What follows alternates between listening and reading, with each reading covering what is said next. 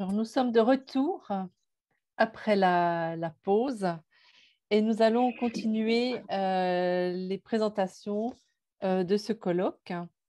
Euh, la conception universelle de l'apprentissage ou CUA est un ensemble de principes qui favorisent les possibilités d'apprentissage égales pour tous les individus.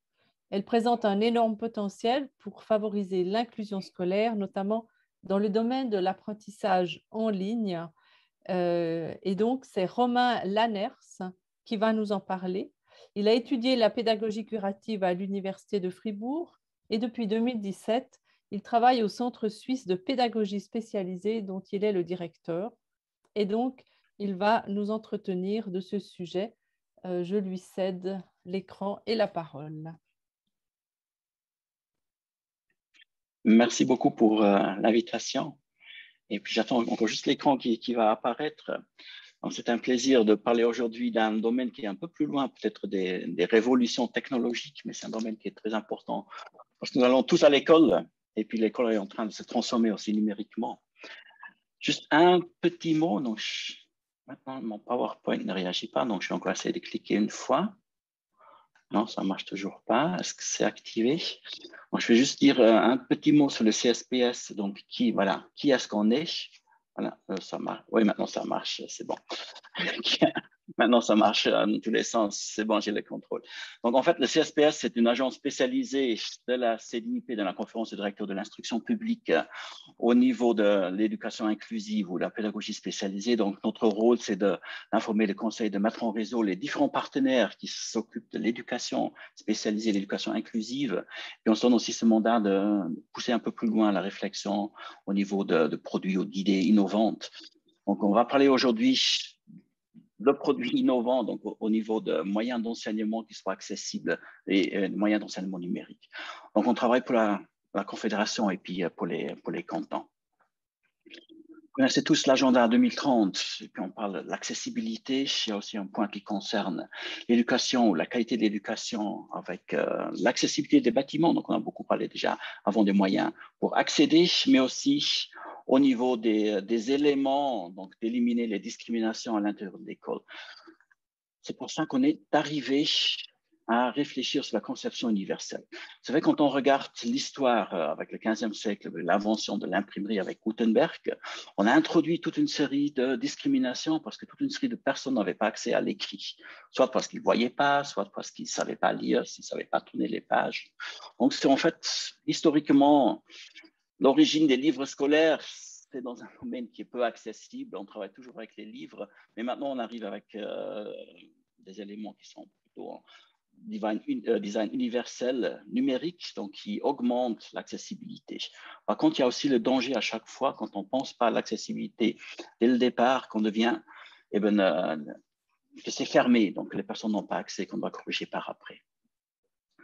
Comme on a juste dit dans l'introduction avec Nathalie Duplain, on, apprend différemment. Donc, la conception universelle est basée sur les neurosciences. On s'est rendu compte que l'apprentissage peut se faire en différents types. on va apprendre le pourquoi, le, quoi respectivement, le comment. Et puis les canaux qu'on va utiliser vont être différents d'un élève à l'autre. Donc déjà dans l'apprentissage ordinaire, comme on dit, on a besoin d'approches différentes pour, euh, pour motiver et puis euh, pour euh, travailler avec l'élève. Ça va se complexifier encore quand on va parler des élèves qui ont des besoins particuliers. Ça ne veut pas dire qu'il n'y a que trois moyens d'apprendre, mais ils sont plutôt mélangés, donc on peut avoir des formes intermédiaires, etc.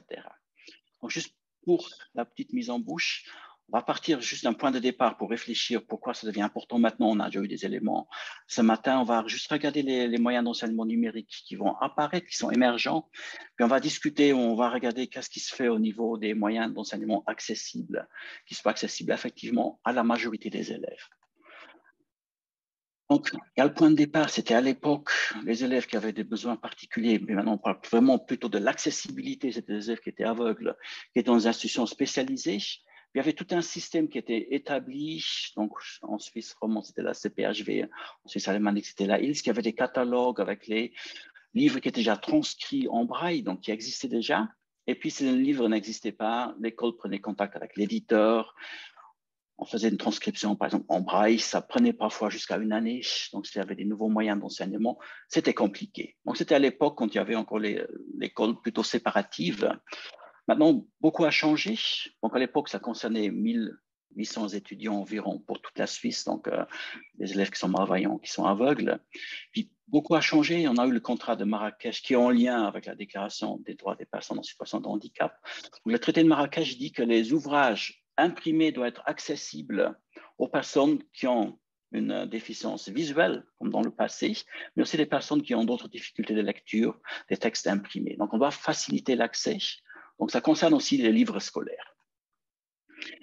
La Suisse est allée un pas plus loin dans, le nouveau, de, nouveau, euh, dans la nouvelle loi sur le, droit, euh, la nouvelle loi sur les droits d'auteur, dans l'article 24C, on élargit le cercle des personnes qui ont droit à des versions électroniques. Donc, on agrandit, on parle de personnes en situation de handicap, ce qui veut dire que si on le transcrit au niveau scolaire, ça va concerner 40 000 élèves va dire que c'est les élèves qui ont des besoins particuliers, euh, euh, éducatifs particuliers. Et puis environ 50% de ces élèves, selon les dernières statistiques, sont intégrés dans une classe ordinaire. Donc ils ont des livres scolaires comme leurs collègues, mais les livres sont peut-être dans certaines situations pas accessibles. Donc on a besoin de nouvelles approches pour rendre les livres scolaires accessibles. Donc l'approche qu'on avait utilisée jusque maintenant, c'était principalement transformer en PDF. Donc, c'est ce qui était euh, quelque chose d'important aussi, une étape intermédiaire. Les premiers PDF étaient des photographies de l'image, donc on ne pouvait pas lire le texte, on ne pouvait pas l'extraire. Peut-être encore une petite parenthèse qui est intéressant, c'est que le premier livre donc, qui était fait chez, les Suisses romands, donc euh, par la CIP, c'était la grammaire romande. Puis en 1920, j'ai fait un livre pour les élèves qui étaient aérés, comme on les appelait à l'époque. On commençait à faire des livres qui, étaient spécifiques pour euh, une population, pour un, type d'élève. Je l'ai comparé avec l'annuaire des trains, vous le connaissez, c'était imprimé. Après, maintenant, a des versions PDF, mais c'était en 2006. Donc, l'école est un peu plus lente peut-être dans le développement de nouvelles, euh, stratégies. le, numérique est arrivé à l'école, le corona, avec le lockdown, etc., les écoles fermées, l'apprentissage à distance, a mis en avant l'importance d'avoir des, outils d'apprentissage qui soient numériques. Ce n'est pas Corona qui l'a relevé, on en parlait déjà avant. Et puis, dans le, dans, le, dans le développement du numérique à l'école, on avait d'abord euh, la, forme imprimée qu'on connaît. Ensuite, on a vu apparaître les premières versions avec un complément numérique. Soit le texte était écrit dans un texte qu'on pouvait lire sur un CD, peut-être il y a des compléments numériques supplémentaires.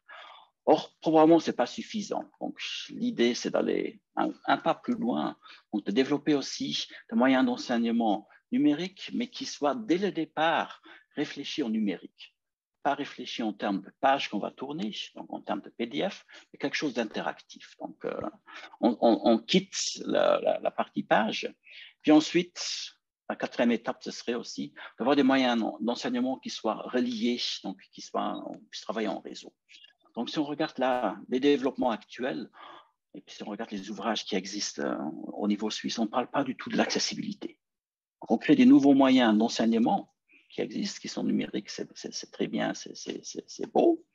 Or, si ce n'est pas accessible aux élèves qui ont des besoins particuliers, on a un problème.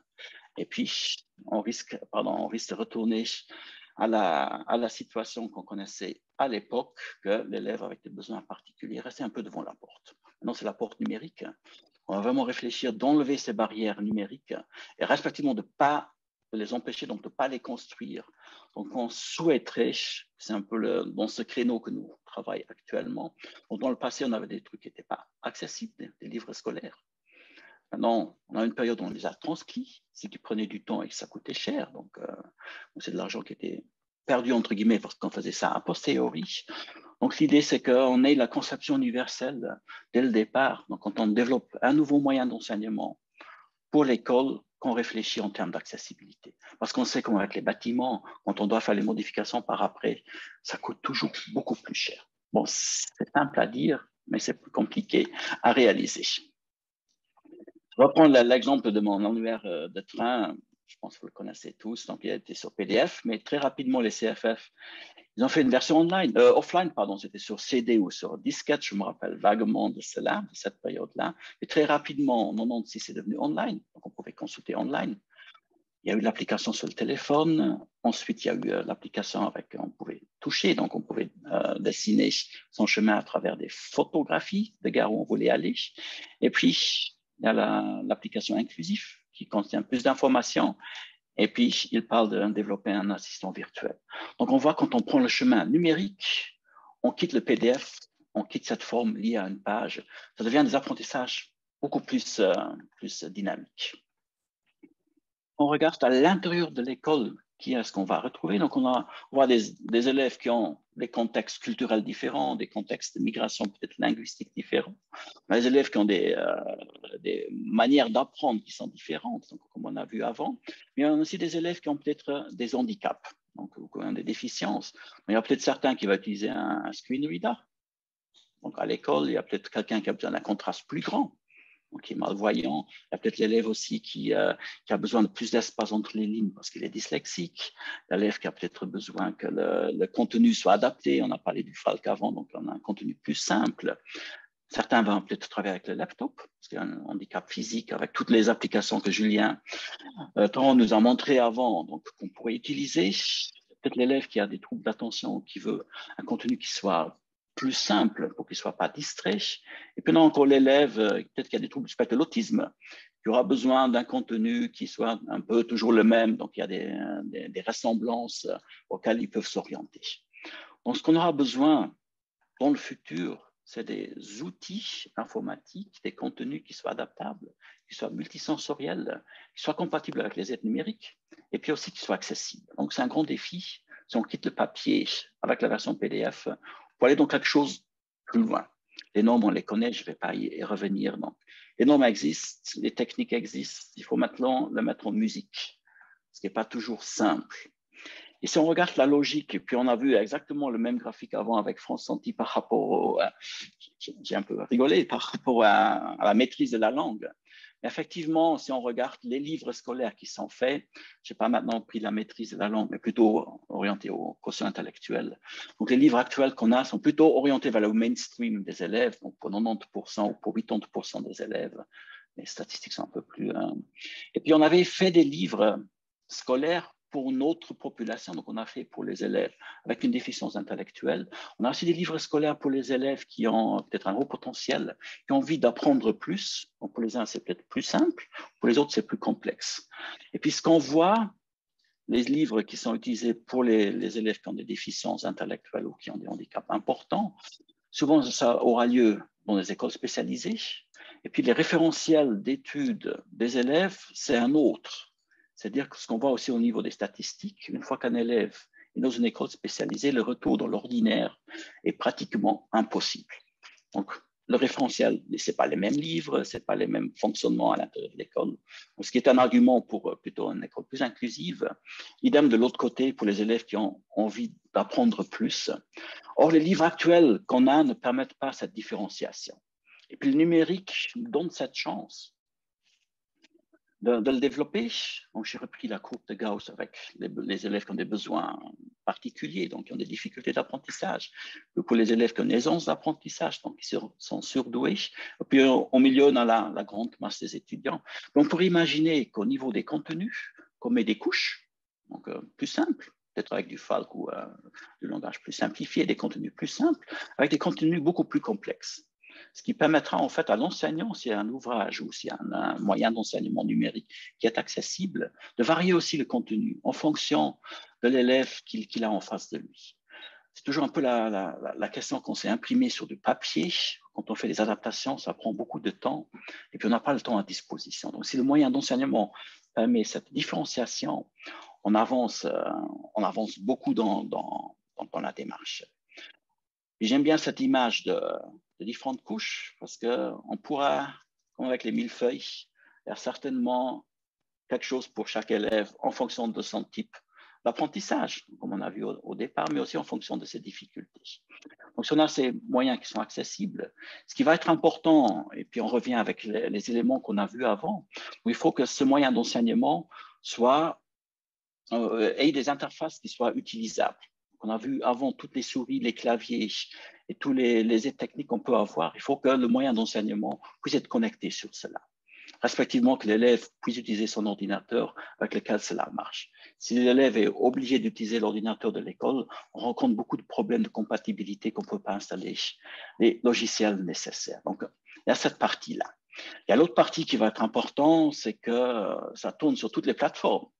Donc, le moyen d'enseignement qu'on a puisse tourner sur toutes les plateformes. J'ai vu des moyens d'enseignement numériques qu'on a, euh, qu'on a mis dans des applications et puis les applications ne tournent pas sur toutes les plateformes. Respectivement, on ne peut pas copier les textes. Donc, euh, on a des limitations qu'on introduit qui rendent l'utilisation plus compliquée pour certains élèves. On a parlé du, euh, de l'affichage responsif avant que l'affichage s'adapte à l'écran. Donc, il y a différents formats qui soient compatibles avec. Et puis après, qu'on puisse travailler en réseau. On peut imaginer que le moyen d'enseignement interagit avec d'autres moyens. Donc, il y a des liens, le livre de maths a des liens avec la physique ou avec la biologie ou avec le français, etc. Avec les plateformes d'apprentissage qui soient accessibles. Et puis, ce qui est intéressant, si on programme bien les interfaces, on peut utiliser les applications qui existent déjà. Donc, la traduction en du texte ou la texte, le texte traduit en oral, la traduction dans une autre langue pour les élèves qui sont allophones, ça existe déjà, ces applications. Traduction en langue des signes automatique, on est en train de travailler. Ce n'est pas encore très performant, mais les ébauches sont là. Que ce soit aussi compatible avec les logiciels qui commencent aussi à apparaître dans la traduction du, euh, du Falc.